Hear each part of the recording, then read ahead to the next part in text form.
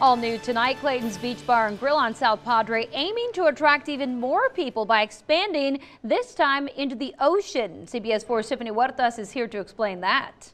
Marcy, the owner of Clayton's Beach Bar and Grill, tells me this will be the island's biggest tourist attraction, second to Schlitterbahn. They're excited for this new addition to lure even more patrons to their spot on the beach.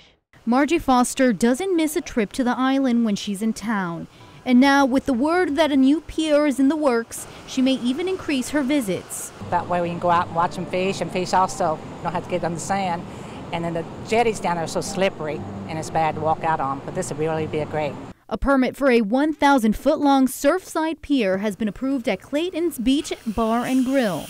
The handicapped accessible pier will be designed for fishing, weddings, and other special events. But not all beachgoers are rooting for the addition. I think the beach should be for the surf only, and then fishing should be on the bayside. Owner Clayton Brashear says they applied for the permit over two years ago and believes the pier will bring more business to the island.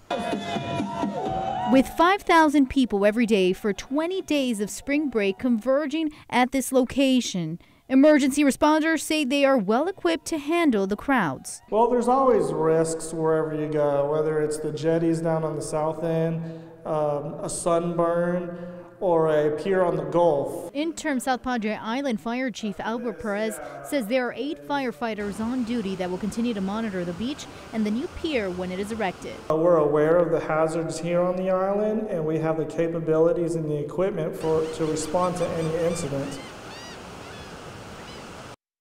Brashear says they will be hiring their own security for the pier. The over $3 million project is expected to be completed by the end of the year. Live in the studio, Tiffany Huerta, CBS 4 News and ValleyCentral.com.